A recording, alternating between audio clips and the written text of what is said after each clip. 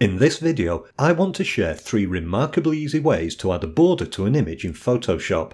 These are great to know if you don't have time to learn advanced editing. One of the methods even works great for producing photos with a standard size. The first method is best for adding a simple black and white or coloured border around an image. To apply the border, I first need to convert my background image to a layer. I can easily do this by double clicking the layer in the Layers window. This displays a new dialog where I can enter the name of the layer. If you have multiple layers in your image already, you can consolidate them into a new layer. Just use the keyboard shortcut Shift, Command, Option and E. If you're using a Windows PC, that's Shift, Control, Alt and E. Now we have our image converted to a layer, we can use the stroke option in the layer effects to add a border. You'll find the layer effects icon at the bottom of the layers window showing an FX symbol. Click this and choose the stroke option to open the layer styles dialog. The stroke is a thin line and goes around the edge of the layer. We can make the stroke wider using the size slider to create a border. If we want to change the border colour, we can click this colour swatch and then pick a new colour. It's possible you might not see the border when you first add it. This is usually because you need to set the border position to be the inside edge of the image. If I set the position to be the outside of the image, it hides the border, and if I set the position to be the center, you see only half of the border. After configuring the border settings, click the OK button to apply it to the image. A great thing about this border is that it's non-destructive. I can turn it off or on by clicking the eye icon next to the effect in the layers window. Let's remove the border now by right clicking on the effect and choosing the clear layer styles option. The next way to create a border uses the stroke command, but this time from the menu. As this is a destructive edit, I'm first going to add a new empty layer to apply the border to. I can do this by clicking the new layer icon in the layers window. You can see the new layer then added at the top of the layers window with a checkered thumbnail. This shows that the layer is empty and transparent so we can see the other layer below it. I now want to select the entire layer by pressing Command and A on my keyboard. If you're using a Windows PC, that's Control and A.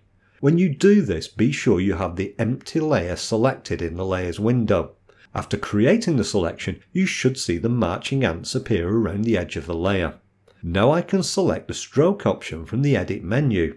You probably recognise most of the controls from the Layer Styles dialog we looked at earlier. After adding a black border to this image, I'll remove the selection using the deselect option in the select menu.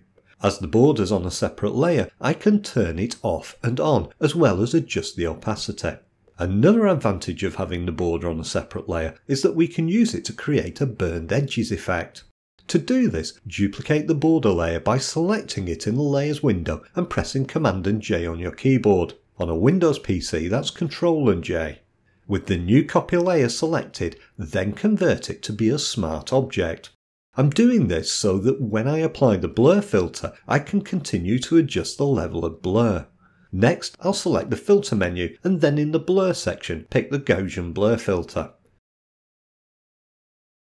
If I hide the border layer, you can see the burned edges effect more clearly. To make the effect stronger though, I can duplicate the smart object again and if I double click on the Gaussian Blur Smart filter, I can then change the level of blur. I'll now delete these borders because I want to show you another option. This time I'm going to make a square image by changing the canvas size. All images in Photoshop sit on a canvas background. You can't see this most of the time because it's usually the same shape and size as the image. For this effect, I'm going to first duplicate the layer containing the image. You'll see why in a moment. Now I can resize the image canvas by clicking the image menu and then the canvas size option. If you see the width and size settings at zero when you open the dialog, it's because you have this relative option ticked. Click once to turn it off and you should see the width and height of the image displayed.